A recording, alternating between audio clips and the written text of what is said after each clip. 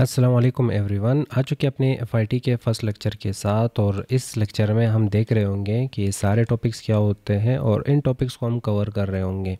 तो स्टार्ट करते अपने एफआईटी के इन टॉपिक्स के साथ।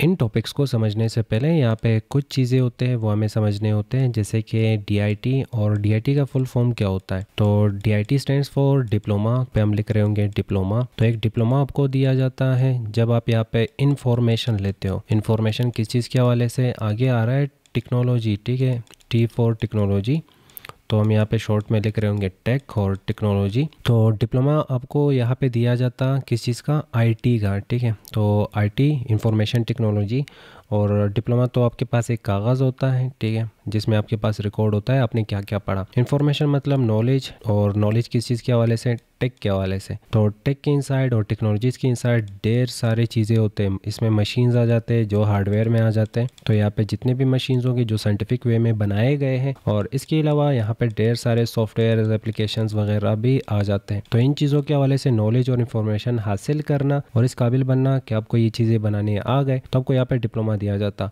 बाकी यूनिवर्सिटीज़ और कॉलेजेस में ये जो डिप्लोमा है, इसे आपको वन और थ्री ईयर के बीच में दिया जाता। वन और थ्री ईयर के इनसाइड आपको ढेर सारी चीज़ें पढ़ाए जाते हैं एप्लीकेशन डेटाबेस सॉफ्टवेयर ये सारी चीज़ें आपको सिखाया जाते हैं, उसके बाद आपको डिप्लोमा मिलता। पर अकेडमीज़ में इसका कंसेप्ट कुछ और तरीके से रखा गया है। यहाँ पे सिक्स मंथ का कोर्स करवाया जाता है उसमें बेसिक्स कंप्यूटर सिखाए जाते हैं और डी का नाम बेसिक्स कोर्स रखा गया है, जो कि शायद ही सही होगा। पर हम बढ़ते यहाँ पे आगे अपने नेक्स्ट टॉपिक की तरफ़ और एफ़ को डिस्कस करते हैं। तो पहला टॉपिक एफआईटी और एफआईटी को एक दफ़ा समझते हैं। एफआईटी होता क्या है? अच्छा स्टार्ट में आ रहा है एफ़ एफ़ मीन फंडामेंटल्स और आई टी आई टी वही इंफॉर्मेशन टेक्नोलॉजी तो इंफॉर्मेशन टेक्नोलॉजीज़ के हवाले से बुनियादी चीज़ें पढ़ना और इसमें सारे डिवाइसेज आ जाते हैं तो ज़ाहिर बात हम सारे डिवाइसेज में कवर नहीं करने वाले। हमारे यहाँ पे सिर्फ़ और सिर्फ़ टारगेट होगा कंप्यूटर को पढ़ना और हम कंप्यूटर का नॉलेज इस कोर्स में सिर्फ़ और सिर्फ़ ले रहे होंगे। जो बुनियादी चीज़ें होते हैं आईटी के हवाले से वो पढ़ना और वो इंफॉर्मेशन लेना एफ़ कहलाता है और इसमें टोटल थ्योरी होती है। तो इन टॉपिक्स को आप डिस्कस करते हैं और कवर करते हैं वन बाय वन और स्टार्ट करते हैं व्हाट इज़ कंप्यूटर से। अच्छा व्हाट इज़ कंप्यूटर पहला क्वेश्चन आ जाता है कि कंप्यूटर होता क्या है? तो कंप्यूटर एक इलेक्ट्रॉनिक डिवाइस है। इलेक्ट्रॉनिक मतलब बिजली से चलने वाला लाइट से चलने वाला। तो लाइट से चलने वाला ये एक डिवाइस है और मशीन भी हम इसे कह सकते हैं। और इसका काम है इनपुट लेना। मतलब मतलब ये कि अगर आप कंप्यूटर लेते हैं और अगर आपके घर में भी एक कंप्यूटर पड़ा है तो वो कंप्यूटर अगर कोने में पड़ा होगा तो ज़ाहिर बात है उसका कोई काम नहीं होगा, वो खुद से कोई भी काम नहीं कर सकता। तो ये कंप्यूटर डिपेंडेंट है और डम मशीन है, इसे हमेशा नीड होती है दूसरे की, यूज़र की। तो मैं और आप यहाँ पे यूज़र कहलाते हैं। तो मान लो मैं यहाँ पे यूज़र, और यूज़र कंप्यूटर को जैसे जैसे यहाँ पे यूज़ करता है तो हम उसे कहते हैं कि कंप्यूटर को यूज़र क्या दे रहा है? इनपुट दे रहा है। ठीक है? तो वही इनपुट का मिसाल यहाँ पे आ जाता है। तो आप यहाँ पे जो भी काम करते हो कंप्यूटर के इनसाइड तो आप कंप्यूटर को इनपुट देते हो। अच्छा इनपुट के बाद क्या होता है? इनपुट के बाद कंप्यूटर उसके ऊपर प्रोसेस करता है। मतलब मतलब ये, अगर आप यहाँ पे कंप्यूटर को कोई भी काम दे देते हो तो कंप्यूटर के पास यहाँ पे एक छोटा सा चिप होता है, और इस चिप को हम कहते हैं सीपीयू तो वो जो सीपीयू है सीपीयू की तरफ़ यहाँ पे प्रोसेस चला जाता है। तो आपने यहाँ पे इनपुट दे दिया इनपुट गया प्रोसेस की तरफ़, और प्रोसेस की शक्ल में सीपीयू को वो काम मिला। और जैसे ही वो काम मिला तो वो जो काम है प्रोसेस करने के बाद कि क्या ये काम ठीक है या नहीं, समझ आता है कंप्यूटर को या नहीं? अगर समझ आ जाता है तो यहाँ पे दो टाइप्स के रिज़ल्ट रिलीज़ होते हैं। रिज़ल्ट नंबर वन पॉजिटिव ठीक है? तो अगर कंप्यूटर को समझ आ जाता है आपका काम तो पॉजिटिव रिज़ल्ट आपको दे देता है। समझ नहीं आता तो रिज़ल्ट नंबर टू नेगेटिव तो कंप्यूटर यहाँ पे नेगेटिव रिज़ल्ट और नेगेटिव आउटपुट जनरेट कर लेता है। आउटपुट का मतलब जैसे मान लो मेरे पास यहाँ पे कीबोर्ड पड़ा है, और कीबोर्ड की इनसाइड एक की मौजूद है, और उस की के ऊपर एन लिखा है। मैंने इस एन को जैसे एट द मोमेंट प्रेस कर लिया। प्रेस करने के बाद ये चला गया किसके पास? सीपीयू के पास। अब सीपीयू इसके ऊपर प्रोसेस करेगा और जैसे प्रोसेस किया, इसने समझा कि अच्छा ये बिल्कुल ठीक है और ये मुझे समझ आ रहा है कि इसका मतलब क्या है, इसकी का मतलब क्या है तो डायरेक्ट आउटपुट जनरेट करके मुझे दे देगा। आउटपुट की शक्ल में हमें यहाँ पे एन दिख जाएगा। अगर हमें एन दिखता है तो हम कह सकते हैं कि हमारे पास जो रिज़ल्ट है, वो पॉजिटिव रिज़ल्ट जनरेट हो चुका है। पर अगर हमें एन नहीं दिखता तो यहाँ पे एरर शो हो जाएगा। एरर को हम कह सकते हैं कि हमारे पास जो रिज़ल्ट है, वो निगेटिव शक्ल में आ चुका है। पहला कंप्यूटर इलेक्ट्रॉनिक डिवाइस है और दूसरा कंप्यूटर इनपुट लेता है। तीसरा कंप्यूटर उस इनपुट के ऊपर प्रोसेस करता है। प्रोसेस के बाद कंप्यूटर आउट, को आउटपुट देता है, रिज़ल्ट देता है उस प्रोसेस का। चार चीज़ों पे कंप्यूटर चल रहा होता है। पहला, इसे ऑन करना होता है। दूसरा, इसके लिए यूज़र और इनपुट देना होता है। तीसरा, प्रोसेस करना होता है। और फोर, उसके बेस पे आपको आउटपुट मिलेगा। आउटपुट नेगेटिव भी हो सकता है और पॉजिटिव भी हो सकता है। कंप्यूटर का डिफिनेशन यहाँ पे आपको समझ आ चुका होगा। नेक्स्ट, जैसे आपके पास इंग्लिश होती है और इंग्लिश में आपको कहा जाता कि आपके पास जो टेंस है और टेंस को लिया गया है, टेम्पस से मतलब टेम्पस, किस लैंग्वेज का यहाँ पे वर्ड है? लातिन लातिन लैंग्वेज का यहाँ पे एक वर्ड है टेम्पस और टेम्पस से टेंस को लिया गया इसी तरह कंप्यूटर के इनसाइड भी यहाँ पे कंप्यूटर को भी यहाँ पे लातिन वर्ड से लिया गया है। और लातिन वर्ड कौन सा होगा? तो कुछ लोग कहते हैं कंप्यूटर है। कंप्यूटर से लिया गया है। कुछ लोग कहते हैं कंप्यूटर को कंप्यूट से लिया गया है।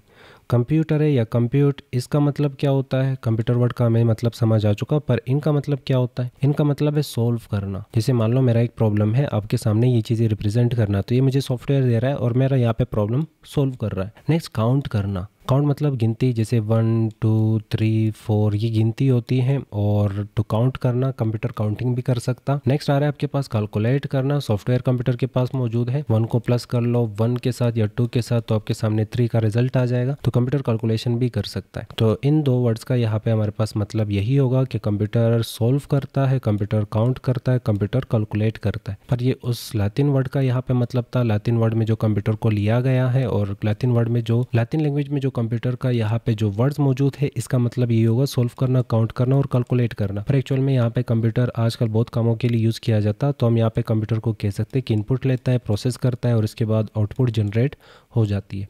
आगे बढ़ते हैं। अब यहाँ पे क्या हुआ कि कुछ शातिर लोगों ने कंप्यूटर का यहाँ पे मज़ीद भी मतलब निकाल दिया। तो पहले भी यहाँ पे कंप्यूटर का मतलब हमें समझ आ चुका है कि कंप्यूटर का मतलब इनपुट प्रोसेस और आउटपुट पर यहाँ पे देख लो, इसे लेटर बाय लेटर भी मतलब दिया गया है। जैसे कि कि आपके पास यहाँ पे कंप्यूटर का सी से क्या आता है तो कहोगे कॉमन आता है ओ से क्या आता है ऑपरेटिंग आता है एम से क्या आता है मशीन आता है पी से पर्पजली यू से यूज़ फॉर और टी से टेक्नोलॉजिकल और ई से एजुकेशनल। और लास्ट में आपके पास आर और आर से आ जाता है रिसर्चेस तो यहाँ पे आप सिंपल देख सकते हो कॉमन मतलब हर जगह पाई जाने वाली मशीन और ऑपरेटिंग मशीन है, लोगों के साथ ऑपरेट करता। इसे एक मकसद के लिए यूज़ किया जाता है। वो मकसद क्या है? टेक्नोलॉजी के ऊपर और एजुकेशन के ऊपर रिसर्च करना। पर हाँ इसका कोई यहाँ पे करेक्ट मतलब नहीं होता। पर जो भी यहाँ पे हमें लेटर बाय लेटर मतलब समझ आता है, वही एक्सेप्ट कर लो। बाकी अगर आप फुल सेंटेंस का मतलब निकालोगे, उसका कोई करेक्ट मतलब नहीं निकलता और ना ये फुल मतलब हमें दे रहा होता है। नेक्स्ट यहाँ पे फादर ऑफ़ कंप्यूटर मतलब कंप्यूटर किसी ना किसी ने तो बनाया है डेवलप्ड किया है। अब कंप्यूटर जिसने बनाया, उसका नाम है चार्ल्स बबेज। अब चार्ल्स बबेज यहाँ पे फादर ऑफ़ कंप्यूटर भी कहलाते हैं। पर इन्होंने यहाँ पे जो कंप्यूटर बनाया, वो ये कंप्यूटर नहीं जो हम यूज़ करते, वो कंप्यूटर था the analytical engine analytical engine उस वक्त चार्ल्स बबेज ने बनाया था। तो चार्ल्स बबेज के कंप्यूटर का नाम अनालिटिकल इंजन और इस कंप्यूटर के यहाँ पे सिर्फ़ सेवन थाउज़ेंड प्लस पार्ट्स थे। सेवन थाउज़ेंड प्लस पार्ट्स थे। तो बहुत ही बड़ा कंप्यूटर और मशीन इन्होंने बनाया था और जिसके थ्रू कैलकुलेशन वगैरह या काम किया जाता था और ये एक डिवाइस थी। और उस डिवाइस में कुछ प्रॉब्लम थी और उस प्रॉब्लम को सोल्व करने के लिए फिर नेक्स्ट यहाँ पे रोल आया मदर ऑफ़ कंप्यूटर का, अदा लवलेस। अदा लवलेस, आप कह सकते हो कि ये प्रोग्रामर है और फीमेल में ये पहली प्रोग्रामर है। और इस प्रोग्रामर ने क्या किया था, इन्होंने यहाँ पे एक लैंग्वेज ईजाद कर ली और उस लैंग्वेज का नाम रखा अदा प्रोग्रामिंग लैंग्वेज। और इस लैंग्वेज के इनसाइड इन्होंने कुछ प्रोग्राम्स लिखे एनालिटिकल इंजन के लिए। एनालिटिकल इंजन में कुछ प्रॉब्लम्स थे और हमें भी पता है, जब भी आपका कोई प्रॉब्लम होगा तो उसके लिए कुछ सॉफ्टवेयर्स और एप्लीकेशन और प्रोग्राम लिखे जाते प्रोग्राम बनाए जाते। तो इसी तरह यहाँ पे एनालिटिकल इंजन में कुछ प्रॉब्लम्स थे और उनको सोल्व करने के लिए कुछ सॉफ्टवेयर्स प्रोग्राम्स बनाए गए। और उन प्रोग्राम्स के बेस पे उस प्रॉब्लम को सोल्व किया गया और यहाँ पे टाइटल मिला अदा लवलेस को मदर ऑफ़ कंप्यूटर का। नेक्स्ट दुनिया का पहला कंप्यूटर कौन सा है? दुनिया का पहला कंप्यूटर है अबाकस। इसे 700-800 साल पहले बनाया गया।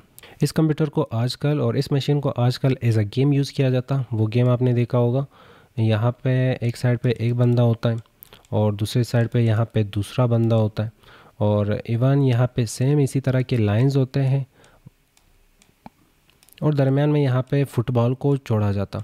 और सिंपल ये जो फुटबॉल है, ये बंदा यहाँ से इस हैंडल को पकड़ लेता है और यहाँ से इस हैंडल को पकड़ लेता है और सेम इसी तरह ये बंदा यहाँ से इस हैंडल को और यहाँ से इस हैंडल को और ये फ़ुटबॉल को यहाँ वहाँ रोल कर रहे होते और गोल दे रहे होते तो आजकल ये वाला जो कंसेप्ट है, वो गेम की शक्ल में आपके सामने आ जाता है और आजकल शायद ही इसे कोई यूज़ करता होगा पर जो यहाँ पे इलेक्ट्रिकल मशीन्स होते हैं और जो लेटेस्ट वर्जन के कंप्यूटर्स होते हैं, वही हम यूज़ कर रहे हैं। जिनका नाम आप कह सकते हो एच होता है और जिनका नाम लिनवो होता है मैक होता है वगैरह। नेक्स्ट दुनिया का फ़र्स्ट इलेक्ट्रिकल मशीन ये था फ़र्स्ट आपके पास कंप्यूटर अबाकस कहा जाता था, पर ये इलेक्ट्रिकल नहीं था। पर ये आपके पास फ़र्स्ट इलेक्ट्रिकल मशीन होगा, जिसे आइनेक भी कहा जाता और ई एन आई ए सी भी कहा जाता।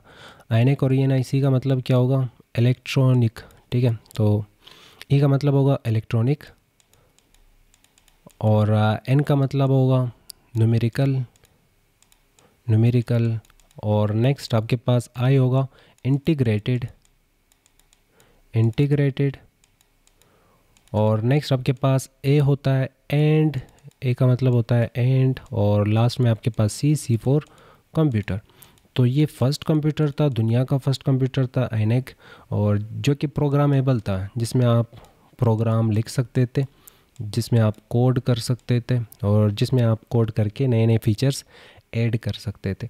तो ये थे आपके पास टोटल थ्योरी और हम यहाँ पे ये चीज़ें आराम से समझ चुके हैं। एक दफ़ा रिवाइज़ करते हैं कि हमने क्या क्या पढ़ा। सबसे पहले हमने कंप्यूटर समझा कंप्यूटर क्या होता है तो इनपुट प्रोसेस आउटपुट आपके पास कंप्यूटर का काम है। दूसरा, हमने लातिन वर्ड देखा। कुछ लोग कहते हैं कंप्यूट कुछ लोग कहते हैं कंप्यूटर है, जिससे कंप्यूटर लिया गया है और इसका मतलब होता है सोल्व काउंट और कैलकुलेट करना। नेक्स्ट है world computer stands for letter by letter common operating machine purposely use for technological educational researches next father of computer Charles Babbage इन्होंने द एनालिटिकल इंजन बनाया था। Next mother of computer the analytical engine के लिए इन्होंने programs लिखे थे। Ada programming language के through और नेक्स्ट वर्ल्ड फ़र्स्ट कंप्यूटर तो दुनिया का फ़र्स्ट कंप्यूटर था। अबाकस वर्ल्ड का फ़र्स्ट कंप्यूटर अबाकस था और वर्ल्ड का first electric computer E N I A C था। ठीक है? तो E N I A C electronic numerical integrated and computer तो ये थी आज की क्लास और उम्मीद करता हूँ पसंद आया होगा और चीज़ें समझ आए होंगी। नेक्स्ट वीडियो में हम लेक्चर नंबर टू को कवर कर रहे होंगे एफआईटी का। मिलते हैं फिर नेक्स्ट वीडियो में।